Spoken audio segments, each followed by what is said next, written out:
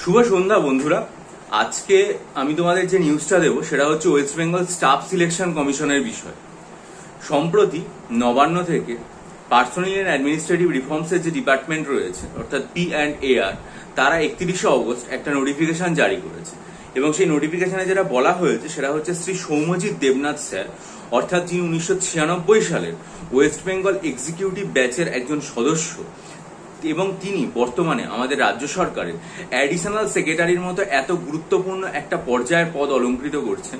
তাকে বর্তমানে West Bengal staff selection কমিশনের সেক্রেটারি এবং কন্ট্রোলারের দায়িত্ব বান যে পদ রয়েছে, সেই পদে তাকে অর্পণ করা হলো এবং তিনি আজ থেকে বা তিনি এখন থেকে এই ওয়েস্ট বেঙ্গল স্টাফ সিলেকশন কমিশনের সেক্রেটারি এবং কন্ট্রোলারের দায়িত্ব সামলাবে এই পদটা তাকে দেওয়া হয়েছে একত্রিশে অগস্ট নবান্ন থেকে একটা নোটিফিকেশন জারি করে।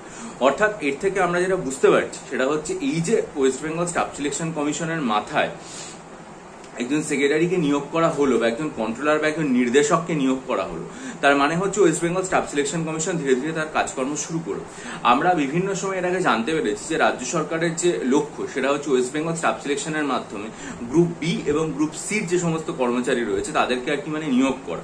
এবং এতে যেটা হবে, সেটা হচ্ছে পিএসসির ওপর চাপ কম পড়বে এবং তারা আরও নিয়োগ পদ্ধতি দ্রুত করতে পারবে।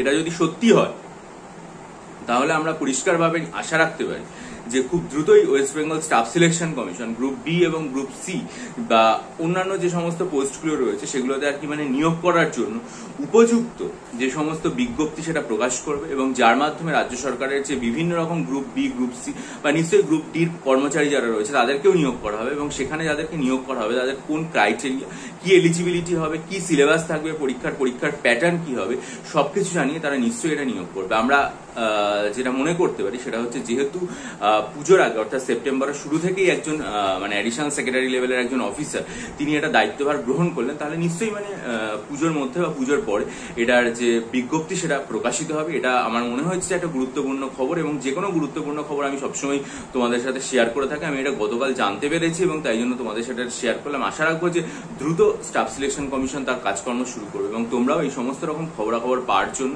এবং কি বিজ্ঞপ্তি আসবে না আসবে, তার পরীক্ষার প্যাটার্ন কি হবে সেগুলো জানার জন্য চ্যানেলটা সাবস্ক্রাইব করে নাও চ্যানেলটার বেল আইকন টিপে দাও, কারণ আমি অবশ্যই আর কি মানে যে কোনো নিউজ পেলে তোমাদের সাথে শেয়ার করে নেব। আর একটা কথা বলার, সেটা হচ্ছে গত রবিবার আমি একটা ভিডিও আমার চ্যানেলে আপলোড করেছিলাম, যেটাতে আমরা এই বুধবার থেকে নতুন general studies prelims mains combined WBCS এর এবং তার সাথে বাংলা, ইংরেজি ডেসক্রিপটিভ রাইটিং এর একটা ঐক্যবদ্ধ যে ব্যাচ সেটা শুরু করতে চলেছি, সেটার ভিডিওটার লিঙ্ক আমি ডিসক্রিপশন বক্সে দিলাম।